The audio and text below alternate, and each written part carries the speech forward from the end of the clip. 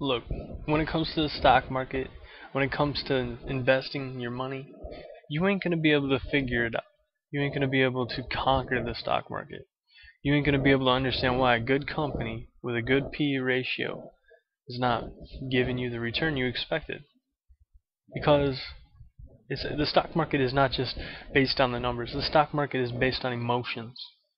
People's emotions, what they feel is going to happen over and over and over and over again. That is proven right. I mean, when the public decides that something's good, it goes up. Then, if they have a bad earnings period, it goes back down. Back and forth. But if something's thought to be bad for so long, they can have a couple good earning.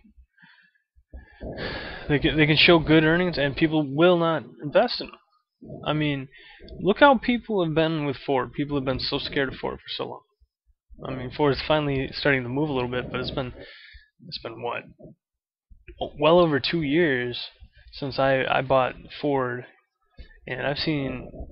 I mean, I bought it since then, but I've seen it go up and down and all around, and it's they've been making money.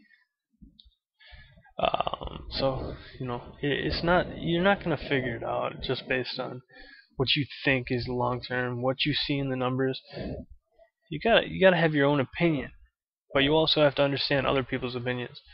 And if you're not willing to ride it out long term before people catch on to what you're seeing, and you're gonna pull out your money, you're gonna lose.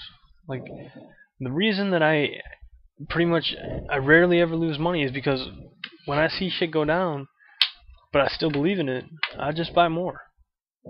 And I think a lot of people are too scared with their money. Like, listen, this is a stock market. If you're scared with your money, what the fuck are you doing here?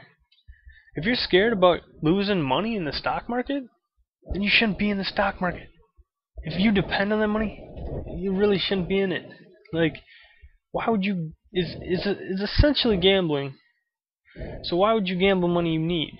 Me, I never play with money I don't, or I never play with money that I need. I play with.